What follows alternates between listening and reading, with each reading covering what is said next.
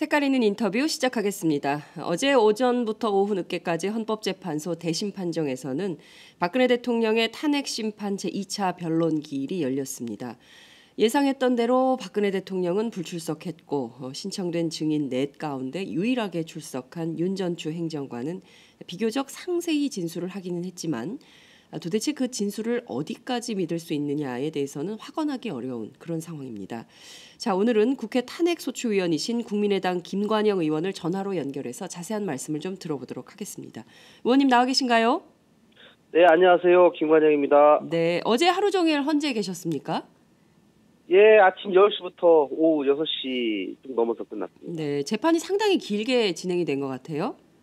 예, 오전에는 주로 진술, 네, 각 에, 국회 측, 대, 이 대통령 측의 진술을 주로 했고요. 네, 오후 2시에 증인신문, 또 3시에 증인신문 이렇게 있었기 때문에 네. 오후 3시에 시작된 윤전추 증인에 대한 증인신문이 좀 늦게까지 계속됐습니다. 음, 그렇군요.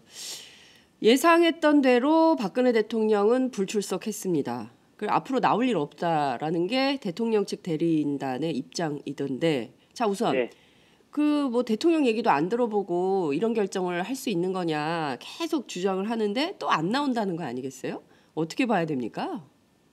네, 일단은 뭐 대통령 저희는 대통령의 예, 얘기를 직접 좀 들어보면 좋겠다라고 어 재판부에 요청을 했지만 네, 일단 대통령께서 직접 출석하는 거를 꺼리고 계시기 때문에 일단은 그 외에 대통령을 제외한 나머지 사람들의 진술들을 들어보고 또 서류, 증언 등을 통해서 대통령의 탄핵 여부를 결정할 수 있다면 그대로 결정을 하고 만약에 안 되면 마지막에 재판부에서 직접 어, 부를 수도 있지 않을까 싶습니다. 어, 재판부가 직접 부를 수도 있겠다. 그 시점은 언제라고 생각하세요? 마지막 시점.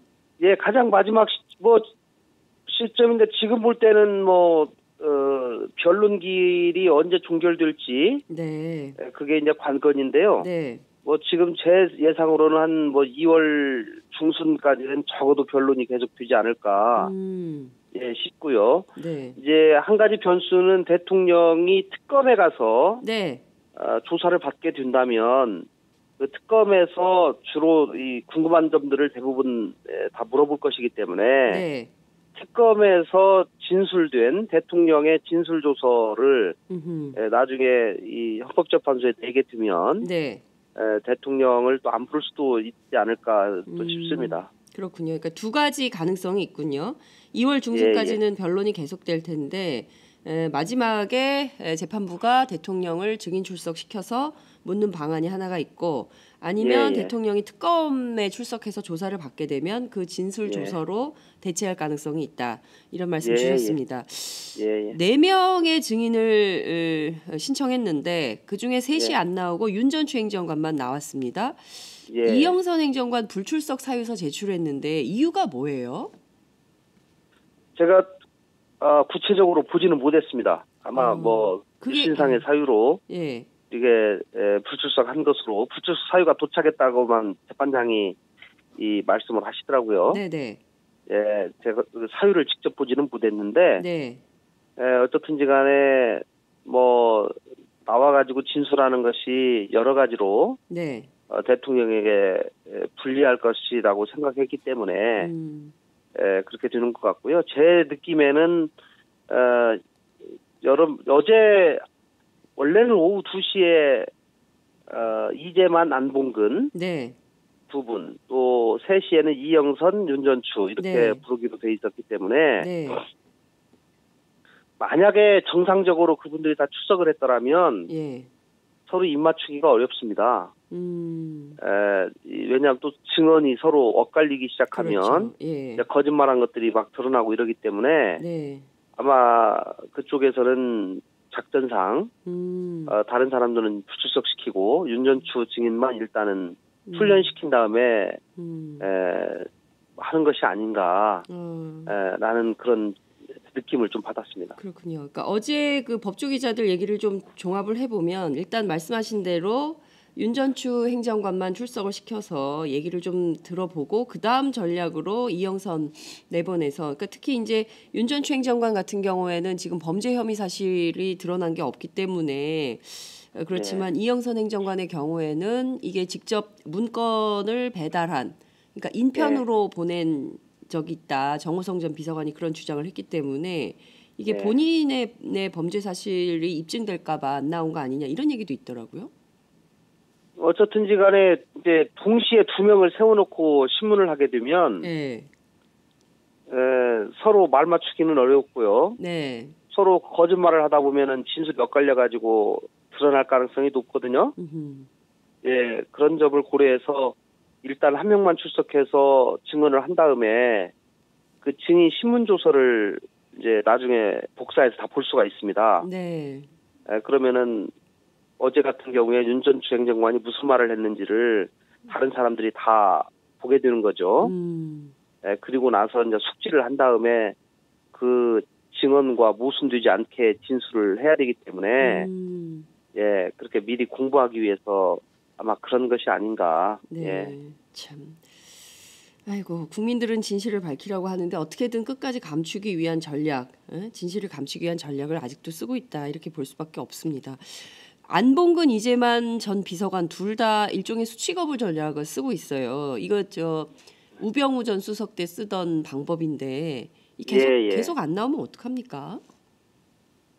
어뭐 방법 방법이 쉽지 않죠 음, 어 그래서 뭐 저는 개인적으로는 헌법재판소에서 그분들을 증인으로 계속 소환을 하되 네, 뭐 안 할 경우에 그 사람들을 강제로 구인할 수 있는 방법이 현재 법상으로는 지금 없습니다. 어, 예, 국회에서도 지난번 우병우 네, 어, 어, 수석이 그렇게 송달을 아예 거부를 네, 고의적으로 거부를 해가지고 어, 하다가 이제 나중에는 결국 뭐 자진으로 이렇게 나오지 않았습니까? 네, 네, 네, 제가 그래서 뭐 제가 그 법도 냈어요. 네, 법, 법률 개정안도 내가지고 예, 예. 그 그런 이 필요한 식으로 것 같아요, 진짜. 고의적으로 이 예. 송달을 거부하는 사람들에 대해서는 네, 이 법원에서 이 공시 송달이라 해가지고 게시판에 붙여놓으면 음, 자동으로 송달된 것으로 간주하는 네, 그런 제도를 음, 이 청문회 송달이나 네, 또 증인 송달에서도 이 사용할 수 있게끔 이렇게 음. 한 개정안도 냈, 냈습니다만은 어쨌든지 간에 송달이 일단 돼, 되고 나서 네. 불출석해야지 그다음 구인을 하든지 뭐를 할 수가 있는데 네, 송달 자체가 안 되기 때문에 네, 예, 그게 좀 어려움이 있습니다. 그래서 저는 개인적으로는 특검에서 음흠, 특검에서 그 사람들을 좀 불러다가 예, 좀 조사를 제대로 하고 음, 어, 다시 한번 에, 그 조사 결과를 네, 헌법재판소가 간접적으로 사용하는 방법이 어떨까 음, 에, 그렇게 좀 생각을 합니다. 그렇군요. 요 법은 이번 임시국회 때 좀 통과가 될까요? 어떻게 보세요? 2월, 1월, 2월. 네, 저는 좀 빠른 시간 내에 좀 통과가 됐으면 하고 생각하고 있는데요. 네, 뭐 국회에서 이 법 통과라는 것이 뭐 맞아요. 예상하기는 쉽지 않은 일이죠. 그렇군요. 이게 또 이제 국민적 국민적 압력 압박이 좀 있으면 예. 국회도 움직이기 때문에 예, 이것도 예, 결국엔 그렇습니다. 촛불 민심에 좀 의탁을 해야 되겠다라는 생각이 좀 듭니다. 예, 예, 예. 예. 그 아, 특검이 상당히 역할을 해야 된다. 이게 뭐 지난번에 우병우 수석의 경우에는 국민들이 이른바 어, 민간 차원에서 현상금 수배를 걸었잖아요. 이번에도 또 이렇게 해야 되느냐 고민들을 하는 예. 분들이 계시더라고요. 예, 예. 음, 예, 이런 게 좀 필요하지 않나 싶기도 합니다. 예, 그 여러 윤- 가지로 전방위적으로 압박을 하고 또 국민들도 많은 관심을 보인다면 또 자진해서 출석할 수도 있지 않을까 싶습니다. 그렇군요. 윤전추 행정관의 진술 관련해서 좀 여쭤볼게요. 어떤 예. 대목은 비교적 굉장히 상세하게 또 어떤 대목은 전혀 기억이 안 난다. 뭐 이렇게 모르쇠로 일관을 했는데요. 어제 우선 윤전추 행정관의 그 진술 답변 태도 좀 어떻게 보세요? 어, 진실을 밝히는 데는 대단히 미흡했다. 어, 중요한 대목에서는 대부분 모른다로 일관을 했고요. 네. 어, 뭐 자기한테 유리한 부분에서는 또 상, 대단히 상세한 또 기억을 하고 있더라고요. 네. 예, 그래서 어쨌든지 간에 뭐 대부분 어, 중요한 사안에 대해서는 에, 입을 닫았다. 진실을 밝히 는데 협조가 제대로 되지 않았다. 이렇게 전체적으로 평가를 할 수밖에 없을 것 같습니다. 그렇군요. 그 몇 가지 좀 팩트 체크를 좀 해볼 필요가 있는데요. 우선 예, 최순실 씨의 경우에는 자신이 청와대에 간 적도 없다 이렇게 주장을 했습니다. 그렇지만 예. 윤전 추행정관은 최순실 씨를 청와대에서 몇 번 봤다 이렇게 증언을 했어요. 예, 그리고 최순실 씨는 청와대는 박근혜 네. 대통령 말고는 자신은 아무도 모른다. 그리고 네. 청와대를 출입한 사실도 없다. 이렇게 그 재판에서 얘기를 하고 있거든요. 예. 둘 중에 한 사람은 거짓말을 하고 있는 건데 누구 누가 누가 거짓말을 하고 있다 이렇게 봐야 될까요? 뭐 지금 여러 이 증거에 의해서 어느 정도 확정된 거는 최순실 씨가 그 매주 주말에 청와대에 가가지고 일요일 날그 문고리 3인방과 회의를 했다는 거 아니겠습니까? 네. 에, 그리고 그것이 그 청와대 조리장의 진술을 통해서도 증언을 통해서도 상당 부분 밝혀졌거든요. 네. 그렇기 때문에 뭐 그거는 거의 사실인 것 같고요. 에, 뭐 윤전추 행정관이 자기는 일요일 날 출근하지 않아서 네. 어, 별로 그런 상황을 보- 잘 알지 못한다 이렇게 어제 얘기하더라고요. 네. 에, 근데 어쨌든 간에 최순실 씨가 청와대를 수시로 어, 왔다 갔다 하고 에, 출입한 것은 뭐 이제는 거의 공지의 사실이 됐다라고 저는 생각합니다. 예, 예. 결론은 최순실 씨가 어, 거짓말을 하고 있는 거다 이렇게 보신다는 거죠, 그죠? 아, 윤전 그런 거죠. 예. 음, 알겠습니다. 자, 어제 그 세월호 7시간 동선에 대해서도 쭉 얘기를 했습니다. 정리를 해보면 8시 30분에 박근혜 대통령이 관저에서 어, 일을 했고 윤전 추행정관은 둘이서 비공식 업무를 진행했더니 비공식 업무가 뭔지도 좀 확인을 좀 해봐야 될 것 같고 9시에 관저 집무실로 들어갔다 이런 주장을 했어요. 우선 좀 예. 어제 논란이 됐던 게 관저 집무실이 뭐냐 이- 네. 이게 상당히 논란이 좀 됐어요. 이 점은 좀 그게 어떻게 저- 봐요? 그냥 우리로 생각하면 소위 관제 자기 집에 있는 공부방이죠. 공부방. 예. 예.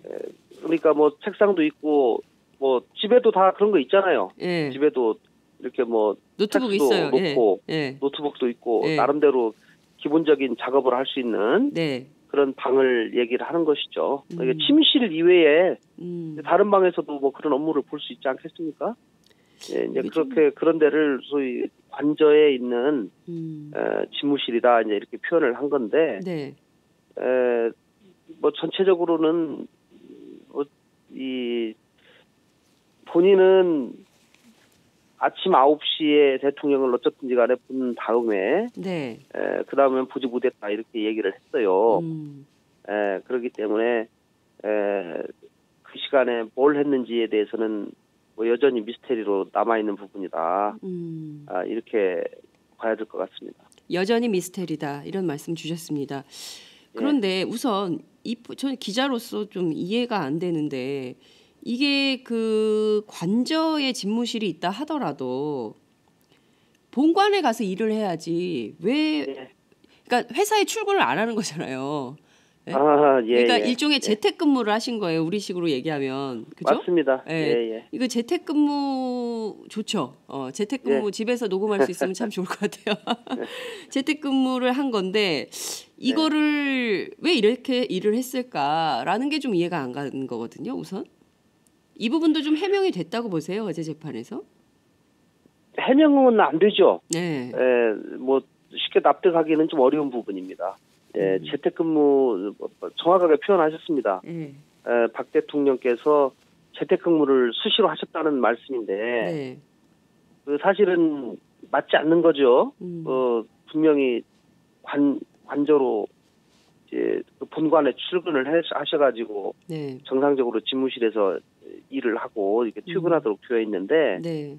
아니, 출근 자체를 하지 않고 집에서 일을 봤다는 얘기거든요. 음.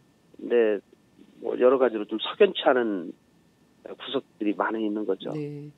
저희 이제 오마이뉴스 같은 경우에는 저희가 smart work를 지향하거든요. 그래서 어, 어디에 있든 기사만 나오면 된다. 카페에서 기사를 써도 되고 집에서 기사를 써도 되고 회사에서 뭐 써도 아웃풋이 된다. 나오잖아요. 네, 그렇게 저희는 하고 있는데 예. 어, 대통령이 이렇게 한다. 굉장히 독특한 것 같다라는 생각이 좀 듭니다. 대통령은 사실은 그 보기를 원하는 분들이 굉장히 많고 네, 어, 특히 장관들과 수시로 대화를 그러니까요. 하면서 네, 회의를 토론을 해야. 되는 그런 음. 위치에 있, 있으신 분인데 네, 에, 뭐 장관 재임 시에 뭐한 번도 독대하지 못하고 그만둔 사람들도 많이 있다는 거 아니겠습니까? 그러니까요. 네, 그리고 어제 뭐 윤 전 추 행정관이 그 얘기는 증언하더라고요. 주로 식사를 혼자 하신다고. 네, 에, 혼밥. 점심이건 저, 에, 점심이건 저녁이건 이렇게 혼자 하신다고 그러, 그러는데 네. 참 그런 부분 정말 좀 이해하기 어려운 부분입니다. 그렇군요. 아, 저 세월호 7시간과 관련해서도 뭐 여러 얘기가 나왔는데요. 우선 어, 팩트 체크를 좀 해봐야 되는 거가 박근혜 대통령 1월 1일 날 기자들하고 만났을 때 세월호 당일 텔레비전 생중계 봤다 이렇게 주장을 했어요. 근데 윤전추 네. 행정관은 또 관저 집무실에는 TV가 없다고 그랬거든요. 예, 예. 그러면 집에 어디 침실에서 봤다는 건가요? 이거 음. 어떻게 봐야 돼요? 글쎄요, 그 집무실의 저 정확한 그 구조를 제가 확인을 뭐잘 좀 해봐야 되지 않을까요? 가서 예. 아마 뭐 저는 어제 현장 검증이라도 한번 해봐야지 않을까 싶더라고요. 그러니까요. 예, 예. 그 왜냐하면 그 윤전추 증인이 뭐 여러 가지로 대부분을 업무상 비밀이라는 이유로 진술을 제대로 하지 않았습니다. 네. 아, 그리고 대통령의 사생활이라는 또 이유로 진술을 하지 않았는데 어제 한 진술에만 비춰보면 에, 대통령이 소위 들어간 네. 들어간 그 집무실에는 TV가 없었다. 네. 그러나 그 외에 다른 방에는 또 TV가 있었다. 음. 에, 그렇기 때문에 대통령이 에, 그, 본인이 앉아 있었던 그 방을 에, 지나가지 않고도 네. 그, 그 다른 문을 통해서 다른 집무실 외에 다른 방으로도 또 갈 수도 있었기 때문에 네. TV를 보려면 또 볼 수도 있었다. 또 그런 식으로 어 음. 약간 흐리게 진술을 했어요. 네. 그래서 실제로 그 현장을 한번 봐야지 않을까라는 네. 생각이 들었습니다. 예, 말씀하신 대로 뭐 국조특위 청와대 못 들어가게 한다면 탄핵 소추 의원들이라도 가서 현장 검증을 해서 도대체 이게 어떻게 생긴 건지 확인을 해야 대통령의 진술을 혹은 윤전 네. 행정관의 진술을 신뢰할 수 있을 있을 것 같다 이런 생각이 좀 듭니다. 예, 예. 네. 자 예. 그리고 그 윤 전 추 행정관이요 세월호 참사 예. 당일에 어, 오전 10시 15분 그리고 10시 22분에 박근혜 대통령이 김장수 전 안보실장과 두 차례 통화를 했다 이런 청와대 주장이 나왔는데 예. 어, 윤 행정관은 본인이 연락한 적이 없다라고 밝혔어요. 그러니까 관저 예. 비서실을 통하지 않고 박근혜 대통령 그 위중한 순간에 박근혜 예. 대통령과 김장수 실장이 딴 전화기로 통화를 했다는 얘기인가? 그럼 어떻게 대포폰인가? 뭐 이런 생각도 드는 건데요. 이거 어떻게 이해를 좀 해야 될까요? 어 그러니까 본인 이외에 네, 그 직접 대통령이 관저 집무실에 들어간 이후에 네, 어 대통령이 쓰는 업무용 핸드폰으로 네. 통화를 했을지도 모른다. 음, 아, 그러나 본인이 직접 보지 않았기 때문에 본인은 모르겠다. 음, 이제 이렇게 진술을 했습니다. 네, 그래서 뭐 그 부분은 뭐 실제로 그 업무용 핸드폰에 그 통화 기록이 나와 있을 테니까 음. 그 부분을 한번 좀 볼 필요가 있지 않을까 싶습니다. 아, 그러니까 대통령의 통화 기록도 조사 대상이다. 그렇죠? 사실은 예, 예, 뭐, 그, 구체적으로 지금 진실을 밝히는 이런, 예, 과정에서는 그 부분도 저는 봐야 된다고 생각합니다. 네. 어, 이 부분은 특검이 해야 됩니까? 헌법재판소에서 해야 됩니까? 어떻게 누가 해야 됩니까? 이 조사 주체. 어, 특검도 그 수- 조사 대상이고요. 네. 예, 기본적으로 이, 뭐, 여러 가지 증거물을 네. 강제적으로 이, 가져다가 조사하는 것은 특검의 몫이기 때문에 네. 저는 뭐 특검이 하는 것이 더 맞지 않을까 싶습니다. 그렇군요. 알겠습니다. 자, 윤전추 행정관이 대통령 의상비를 지불했다는 점을 상당히 강조를 했어요. 이것은 결국 어, 뇌물죄 피하기 위한 전략 아니냐. 그러니까 대통령을 보호하기 위해서 이런 진술을 어, 강조했던 거 아니냐라는 분석도 나옵니다. 이 점은 좀 어떻게 보세요? 네, 뭐 저는 저도 그렇게 그런 느낌이 좀 들었습니다. 음, 어, 유독 그, 그 과거에는 그 대통령이 뭐 직접 그 의상비를 줬다라고 이 본인이 기억을 하지 않고 있다가 네. 최근에 대통령이 줬다라고 음흠. 하는 점을 또 강조를 하더라고요. 음, 예, 그리고 그런데 이제 좀 궁금한 거는 대통령이 의상비를 줄 때 본인은 한 번도 열어보지 않고 네. 그냥 그대로 주면은 그거 갖다가 그대로 의상실에다 전달만 했다는 것이거든요. 심부름만 했다는 거죠. 예, 심부름만. 그러면은 음. 처음에는 대통령이 가서 이러이러한 옷을 찾아와라 이런 옷 했으니까 네, 네, 혹여라도 그런 에, 지시를 받은 적이 있느냐 네. 이렇게 물어보니까 그런 적 없습니다 이렇게 얘기를 했어요. 음, 그래놓고 나중에 대금 얘기가 나오니까 대통령이 대금을 줬다 또 네. 그렇게 답변을 해서 네. 이좀 모순이 된 것이 발각이 났습니다. 음, 그럼 그 예, 자체로 위증이라고 볼 수 있을까요? 아니요 그 현장에서 뭐 이제 그것이 수정이 되면 위증은 아니거든요. 음, 예, 현장에서 완전히 끝나기 전에 네. 이 앞전에 진술한 것이 제가 잘못 기억한 겁니다. 음, 뭐 이런 식으로 해가지고 이 번복이 되면 네. 이제 나중에 한 것이 이 기준이 드는 것이죠. 음, 그렇군요. 네. 지금 어찌됐든 전반적으로 보면 그 윤 전 추행정관의 답변 전략은 박근혜 대통령을 보호하고 어, 자신의 책임을 피하는 전략이다.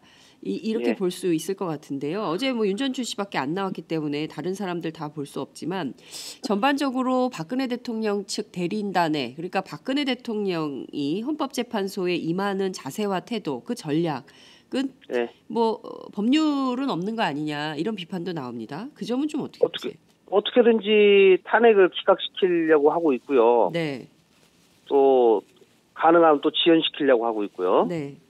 뭐 그런 전략들이 눈에 보이는 거죠. 음, 이런 태도에 대해서 재판관들은 좀 어떻게 보는 것 같으세요? 재판관들이 대통령 측의 논리나 대통령 측의 태도에 좀 이렇게 동화하는 모습이든가요? 좀 저 말이 안 된다. 저는 상식을 가지고 있는 사람, 보통 사람의 입장에서 보더라도 어제 대통령 측 대리인들의 발언과 여러 행동, 또 네. 윤전 추행정관의 증언 등은 에, 대단히 뭔가 숨기려고 하는 것이다라고 음. 하는 것을 쉽게 느낄 수가 있습니다. 음, 에, 그리고 이 과도한 주장을 하고 있구나라고 음, 생각이 들거든요. 네. 아마 재판관님들께서도 뭐 그거를 명시적으로 표현은 안 하셨지만 에, 그 똑같은 생각을 하지 않으실까 저도 음. 그렇게 생각합니다. 네.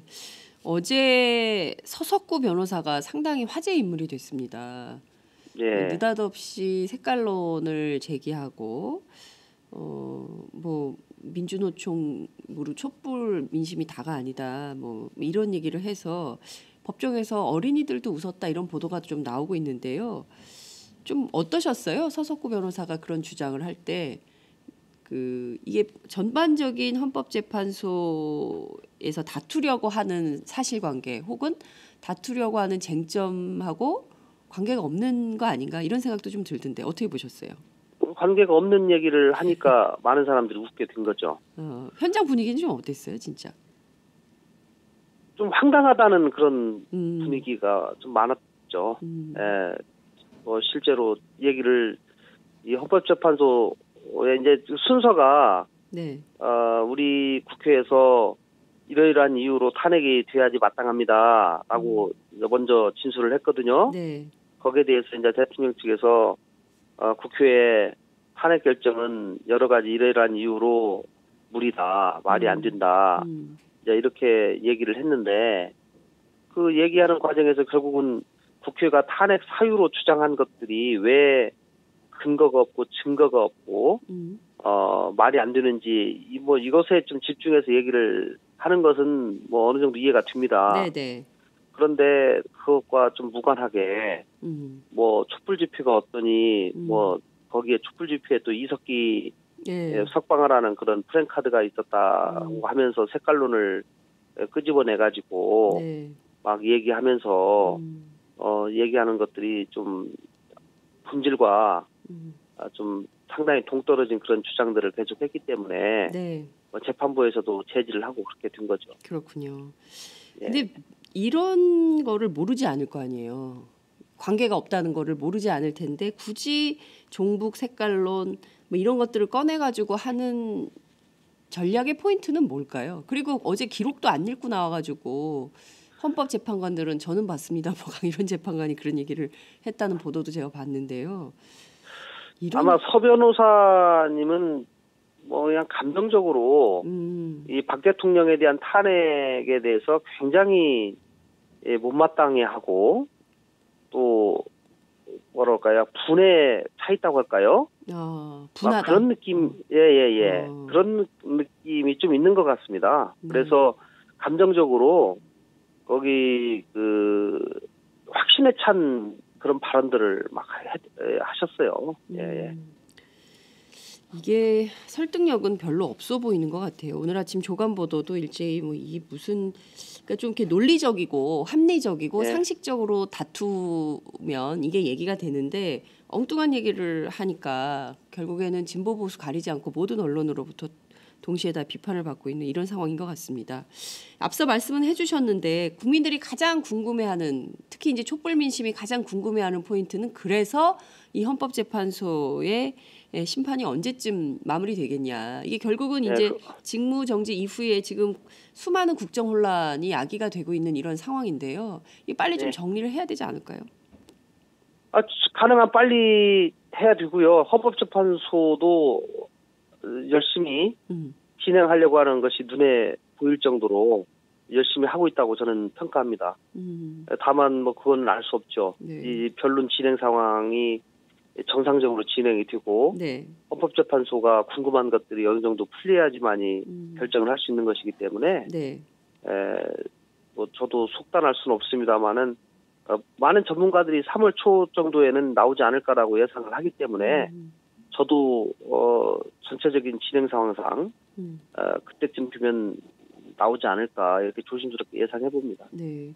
법조 기자들은 박한철 소장 스타일상 내 임기 안에 끝낸다 뭐 이런 얘기들이 좀 들리더라고요. 그래서 1월 말에 그거는 뭐 저는 그거는 물리적으로 쉽지 않을 거라고 봅니다. 아, 그 이제 다툼의 여지가 굉장히 많고 어, 증인들을 불러서 확인해야 될 것들이 있기 때문에 예. 어렵다. 물리적으로 시간상 불, 음, 곤란하다. 예, 예. 음, 예. 알겠습니다. 어, 오늘 그 헌법재판소 얘기를 쭉 들어봤는데요. 내주 화요일 다시 또 열리는 거죠? 3차 기일이. 예, 그렇습니다. 네, 3차 기일엔 주로 어떤 분들이 나오게 됩니까?